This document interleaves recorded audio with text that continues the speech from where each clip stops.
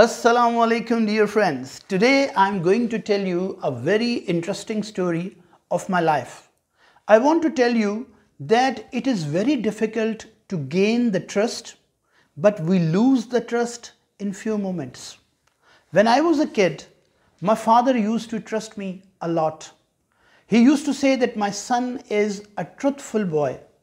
He never lies to me and it took me many years to get the trust of my father. But unfortunately, I lost the trust of my father within a few moments. The trust that I managed to keep, to build in so many years, I lost it in just a few moments. I remember, you know, at that time, video games were not common. It was the beginning of the era when we had black and white without any graphics the videos of that time. One of my friend who is a chemist nowadays, uh, we were the students of class 7th.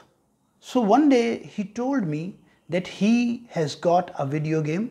His father had bought him a video game and he used to play with that. I was very fond of playing video games also.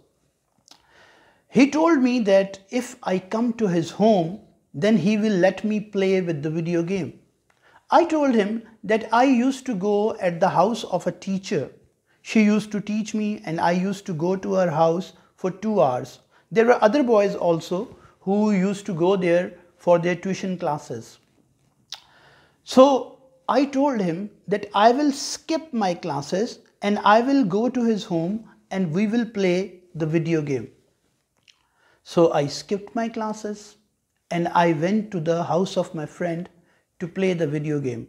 I was very unlucky in a way that it was the first lie of my life and I was caught. How I was caught?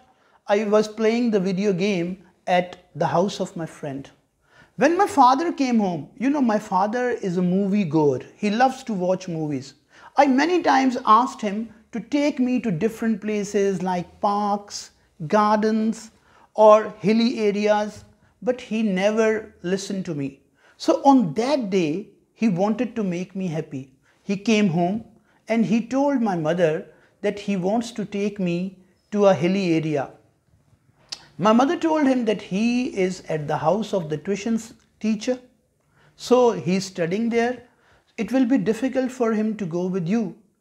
He said, no, I will go there and I will bring him from the house of the tuition teacher and I will take my son to a hilly area because my son again and again insists that he wants to go to that hilly area. So he came home. Uh, he went to the house of my tuition teacher.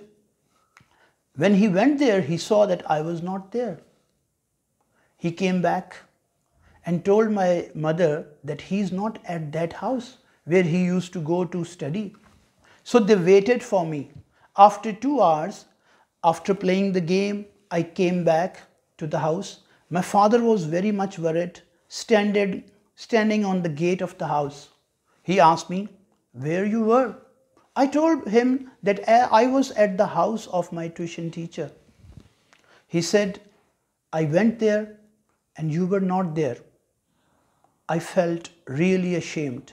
It was the first lie of my life but I was caught on the very first lie of my life.